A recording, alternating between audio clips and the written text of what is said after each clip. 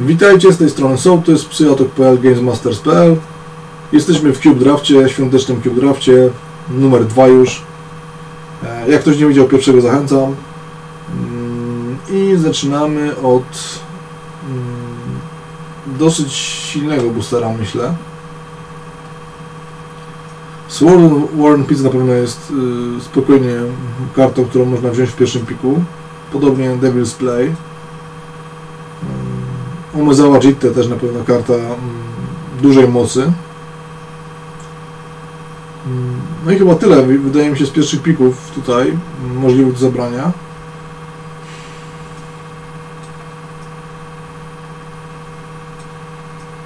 Hmm. Wydaje mi się, że zabranie Jitty albo e, Sworda jest o tyle lepsze, że nie, nie wbija nas w kolor. Mm, Jitta chyba jest ciut lepsza od, od miecza, chociaż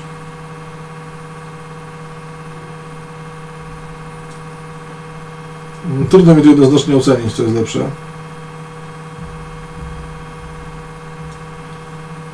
Mm, A, zabiorę sobie miecz. Jest taki bardziej agresywny. Zobaczymy, zobaczymy co z tego wyjdzie. Ostatnio też go miałem, jak pamiętacie, więc może z tego względu jakby bardziej mnie przekonuje. E, No i zabierając miecz, chcesz bardziej iść w agresję raczej. Chantel.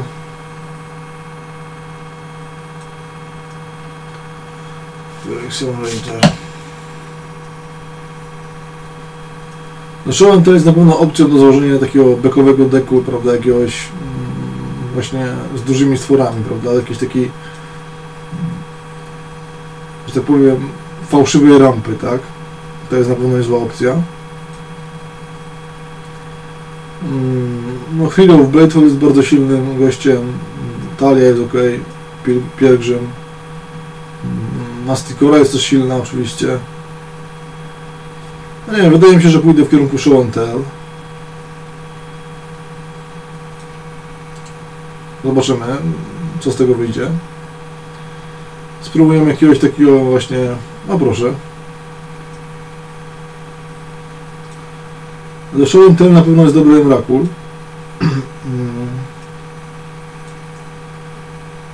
Lotus Cobra byłaby też bardzo przyjemna.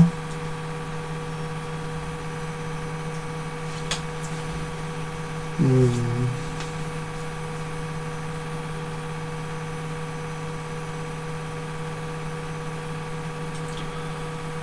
Hmm.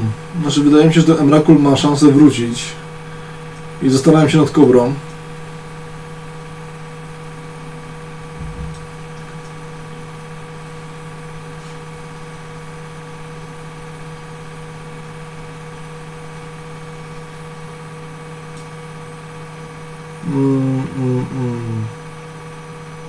Dobra, spróbujemy tą kobrę.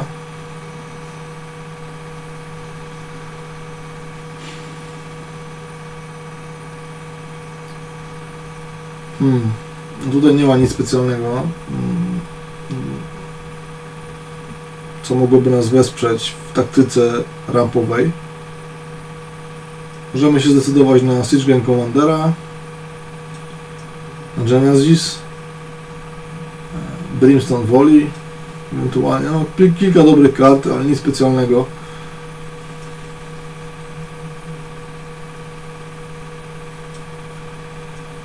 Mm, No, Siege Gun Commander wydaje mi się być najciekawszą opcją, aczkolwiek Genesis jest też, też kuszący. To też. No dobra, weźmiemy sobie e, Gangbanga, że tak powiem. Gangbanga. E, No i tutaj jest karta do e, rampy. Sylvan Kariati na pewno. Urabras Hayden też jest silny. E, Przebudzenie Rudej jest też dosyć, dosyć solidne. Oczywiście Lingering Souls. Nether Void też ciekawa karta. Mm. No myślę, że jednak pójdę w kierunku tej rampy. Zobaczymy, co z tego wyjdzie.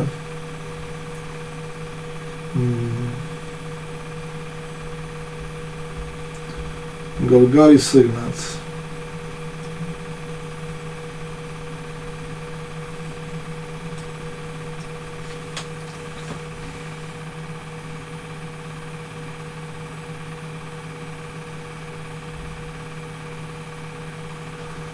Biblioteka jest na pewno ciekawą opcją, mm, ale czy w tym, co ja szukam, nie jestem przekonany. Magot of the Moon jest ciekawy.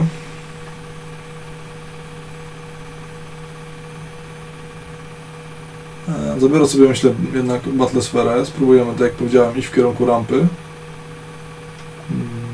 Strip Mine. Lightning Bolt. E, No chyba jednak e, Bloodbraid Elf będzie dla mnie najlepszy. Mm, Ten jest też rzeczywiście bardzo silny, ale jednak chyba Elf jest zbyt kuszący, aby sobie go podarować. Mm. Rift Bolt, Carpluton Forest, Ball Lightning. Mm. No i jeszcze oczywiście Sky Swallower.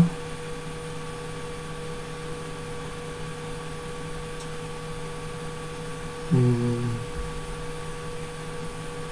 Hmm. No i oczywiście Gaia Cradle jest też ciekawe. A, wezmę sobie tego Gaia Cradle. Nie wiem na ile jestem w stanie to na razie wykorzystywać, ale wydaje mi się, że okej. Okay. Emrakul zniknął, czyli, czyli jednak ktoś zbiera tego e, te karty do, do jakiejś rampy. Dobrze, zabieramy sobie Blaze'a w takim razie. Mm, Zabieramy sobie ten Bloodmade Dragon jest ciekawą opcją na pewno. Child Lightning też rzeczywiście.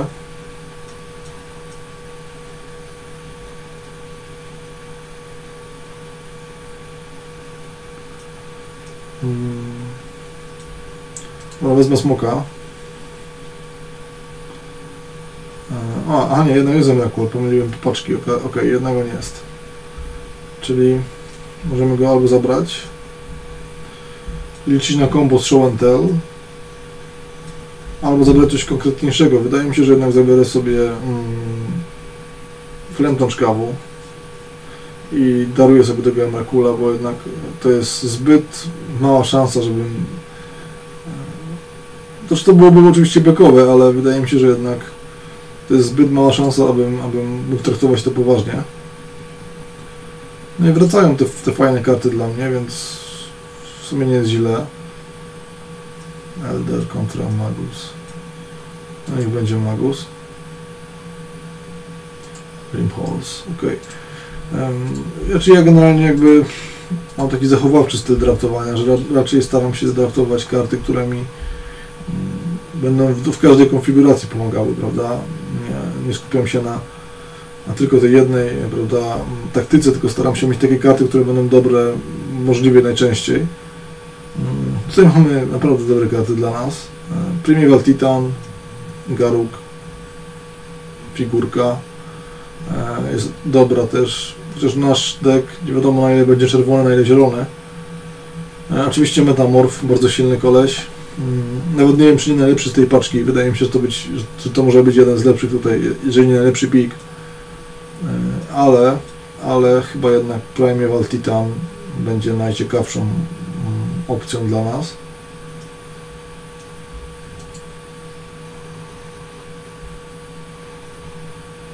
Mm.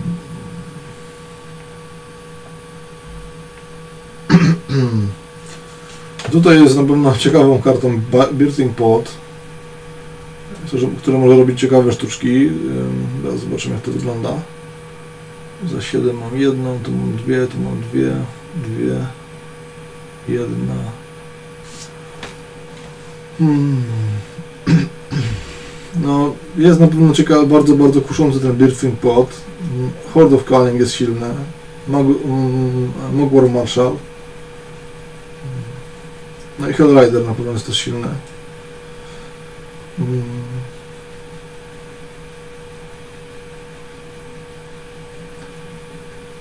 Wydaje mi się, że jednak zabiorę Briefing Poda i spróbujemy coś wokół tego skręcić, żeby było więcej, więcej beki, żeby tak był ciekawszy. Hmm. Fauna Shaman, też, też kolejny dosyć ciekawy gość. I elfy akcelerujące.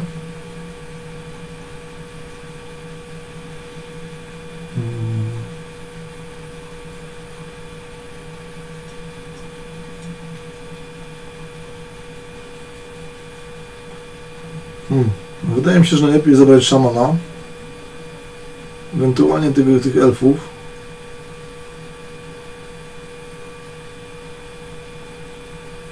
Hmm.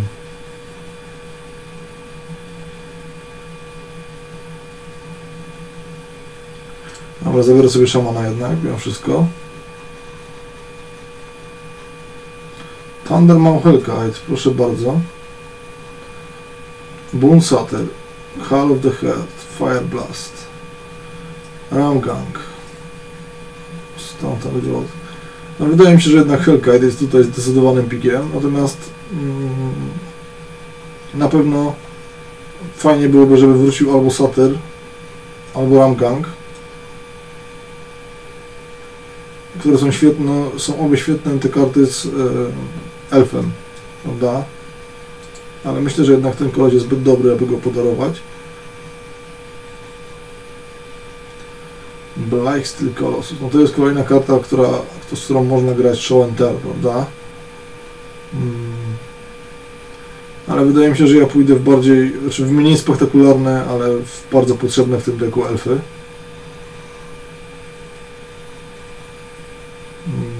No właśnie, mamy lepszą wersję Battlesfery, czyli Avenger of Zendikar. Jest też Chandra. Jest też Rofelos. I kurczę, ten Rofelos chyba jest najlepszy. To jest kolejny bardzo mocno akcelerujący zawodnik. Wydaje mi się być niestety, znaczy no, Chandra i Avengers są bardzo dobrze, ale Rofelos jest po prostu daje takiej ilości mana, że trudno go nie wziąć po prostu. Incinerate byłoby niezłe na pewno dla nas. Battle Mage też. Voice of Resurgence oczywiście też jest dobrą kartą bardzo.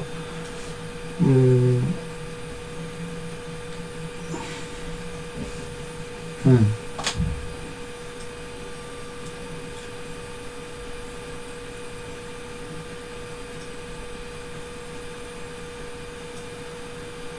Zabiorę sobie Incinerator jednak, mimo wszystko. To jest jakaś taka tam, prawda, pewna, pewna, pewna odpowiedź. Mm. Stumpholer.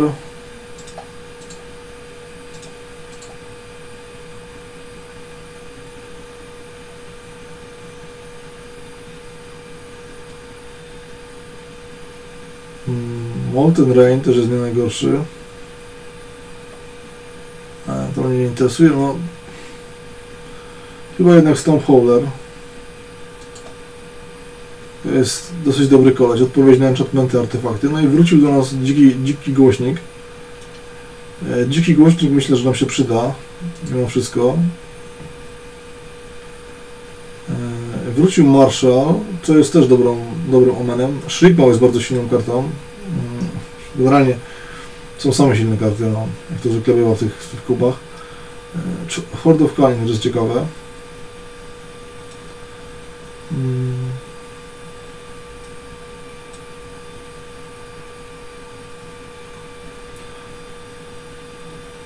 Mm, mm, mm, Dobra, wezmę sobie Marszala. Wezmę sobie akcelerację. No właśnie, wróciło. To jest też ciekawa karta.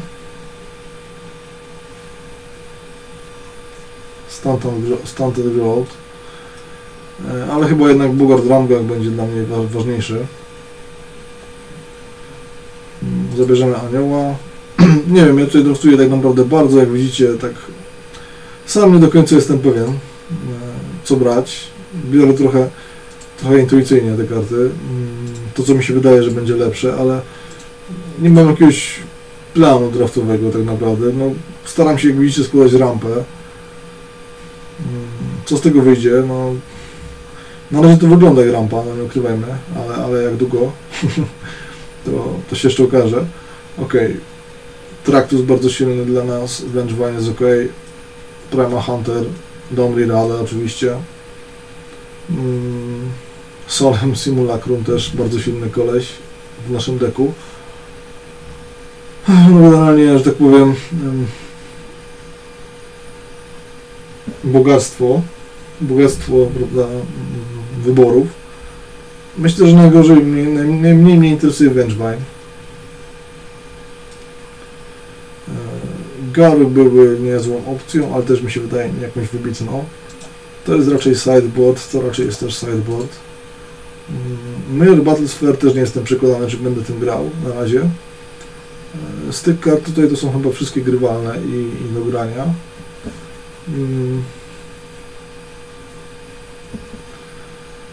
Dom radę mnie kusi, szczerze powiedziawszy, najbardziej.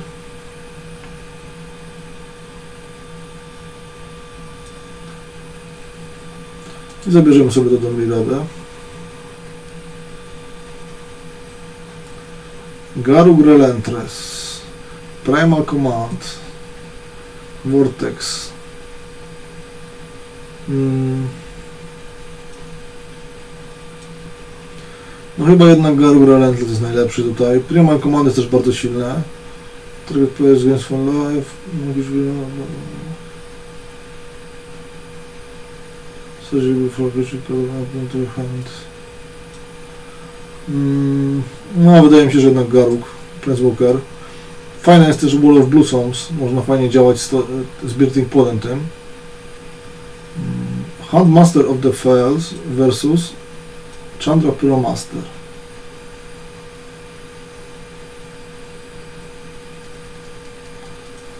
Mm.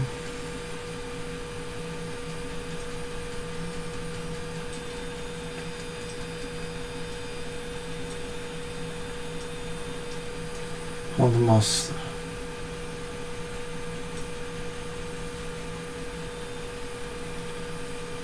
Hmm, trudny wybór znowu. Chandra się wydaje być mega dobra. Jest Ancient Tomb. Też bardzo dobra karta dla mnie. Mana Vault również.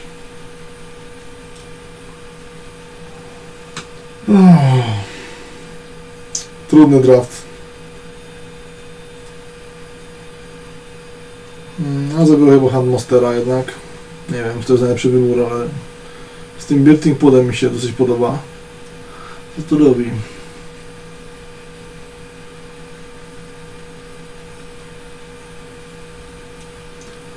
Mass removal po prostu.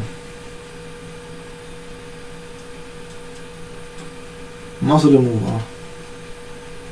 Po prostu Wild, Wild, e, Wild e, Fire to się chyba nazywała ta karta. Morning of Xenia. Hmm. Mass removal w takim deku nie jest jakiś najgorszą opcją.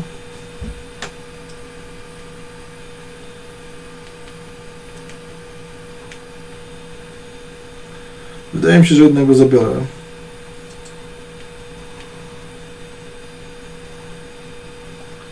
Wildfire, no proszę. Czyli jakby podobna, podobna prawda, opcja. Ym, Master Bulls, no i Plowunder chyba jest dla nas pikiem.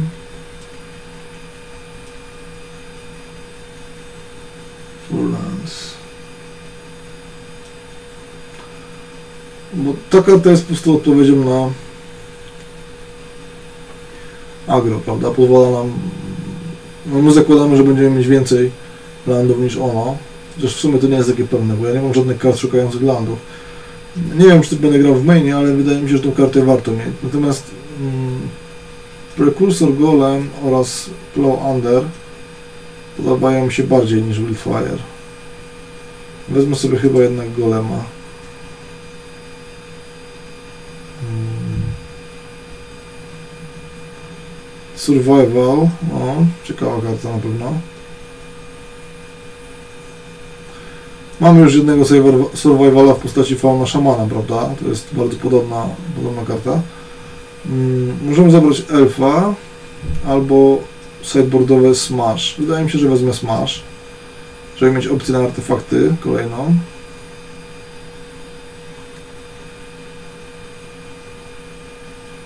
Mm. Mm, Pyroklas jest na pewno ciekawą opcją dla nas. Consuming Vapors. To jest też dobre, oczywiście.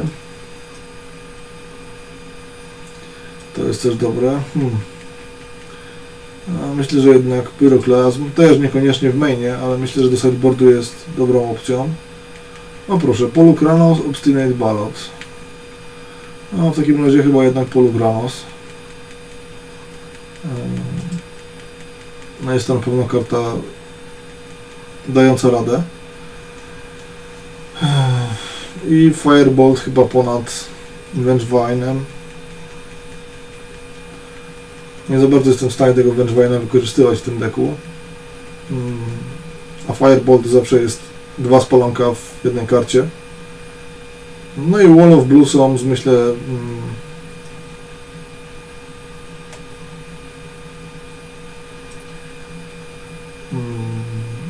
myślę, że to jest też dobra opcja dla nas. Tania ścianka dająca kartę. No i Alice Dust wróciło, to jest też myślę coś, co się może w naszym deku zmieścić. No i tutaj myślę, że jednak e, Berserker będzie lepszy niż Marudarsi.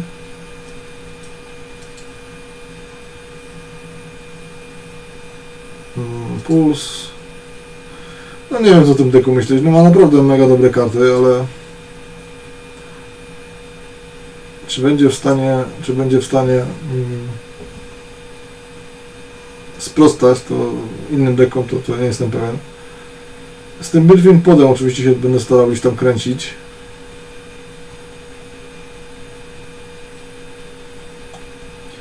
Bo zarówno War, War Marshal, jak i mm,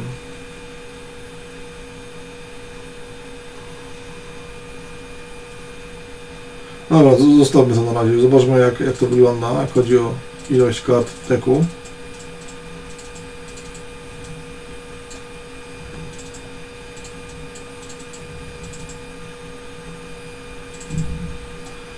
To raczej jest sideboard.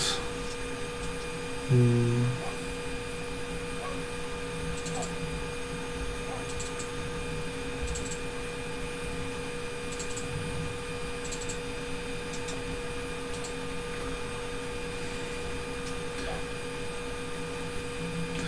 Myślę, że Alice Dust jest też warte grania, mm, ponieważ no, będzie to jakaś odpowiedź na, na jakieś takie sytuacje, gdzie, znaczy taka po prostu taki, nazwijmy to, wentyl bezpieczeństwa w sytuacjach, gdy, gdy nic innego nam nie daje mm, szans na wygraną.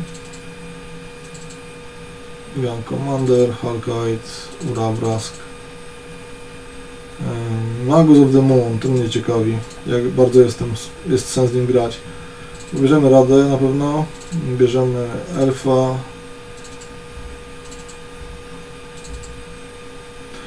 No wiem, że tych kart jest już milion, będzie trzeba je przebierać po prostu. Ale no co zrobimy? Urabas.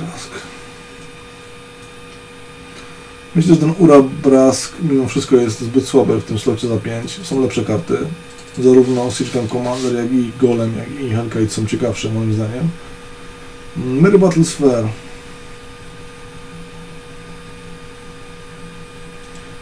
Mm. No również to ciekawa karta, ale czy aż tak ciekawa, nie jestem pewien. Dobra, na pewno wywalamy um, Searing Blaze.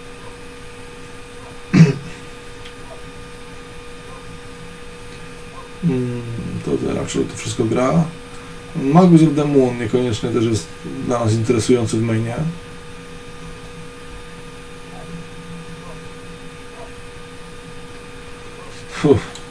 No wciąż tych kart jest, jak widzicie, masa.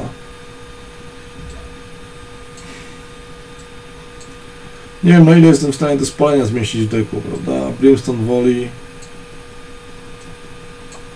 Incinerate, Firebolt.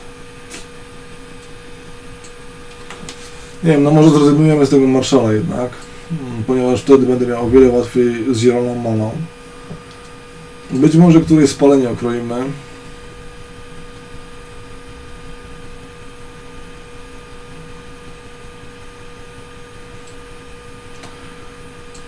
Ice Dust chyba też jednak sideboard, mimo wszystko, dlatego że no, po prostu nie mam miejsca na tą kartę, tak mi się wydaje, że te dropy za 4 są zbyt ważne wszystkie. No i zastanawiam się nad tym podem. No, niby są fajne opcje z tym podem, ale czy on jest mi potrzebny do szczęścia? Nie jestem przekonany. Chyba niekoniecznie.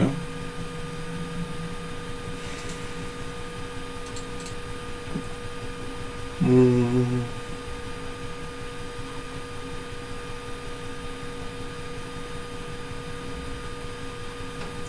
Dwadzieścia cztery.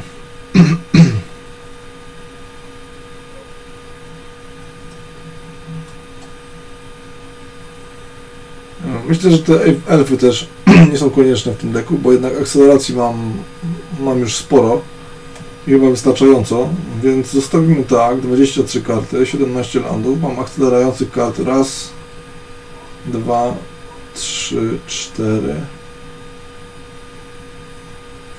To chyba wystarczy w takim deku. Mam jeszcze oczywiście y, tytan. Mm, myślę jeszcze nad mieczem. Wydaje mi się być wart uwagi mimo wszystko.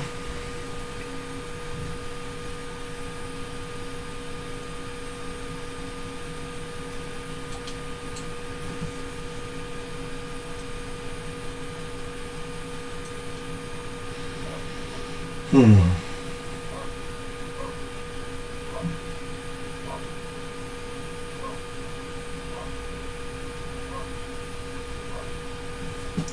No, jak, jak to zwykle bywa w Cube Drafcie, jest tych kart do wyboru tyle, że człowiek naprawdę no nie jest w stanie zbyt łatwo, zbyt łatwo złożyć deku.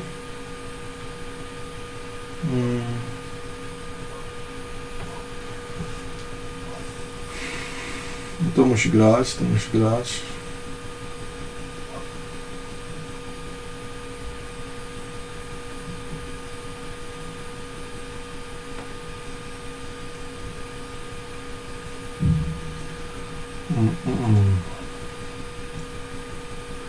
Sword of War and Peace.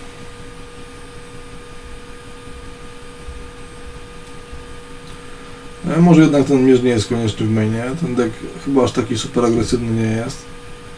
Hmm. Może warto zostać tak. Myślę jeszcze nad tym jak Cradle. Chyba jednak warto tym grać. Bo mając takie karty jak Prekursor Golem, jak e, Dragon, jak Battlesfera. Możemy robić naprawdę spore ilości many z tą kartą.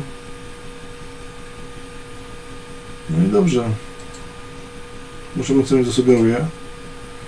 Jedną czarną po coś mi zasugerował, nie wiem po co. Aha, dla smoka. No tak.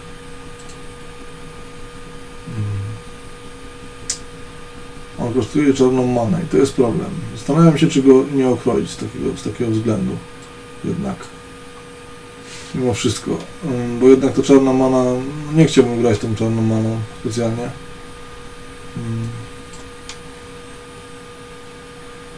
I coś, coś wstawić po prostu bardziej mm, realnego do wrzucenia.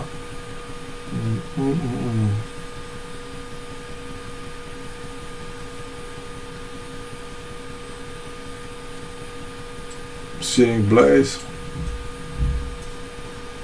Nie wydaje mi się. Może jednak ten ziomal. Chociaż w sumie nie, mogę zrobić to tak. Wstawić to, wstawić Overblown Tumba.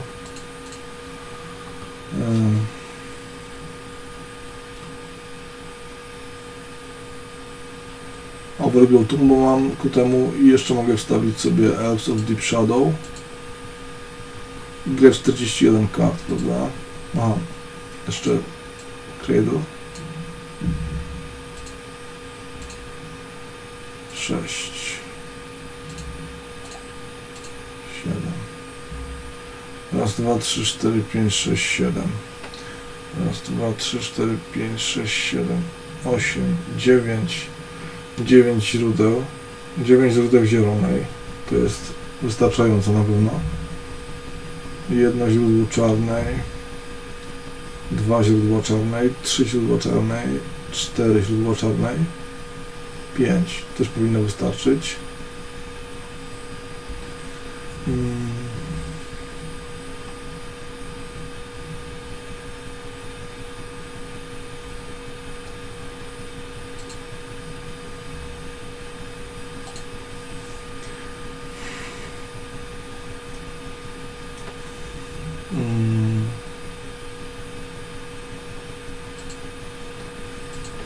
No jeszcze może jeden, mountain mimo wszystko. Będzie 8-9, tak.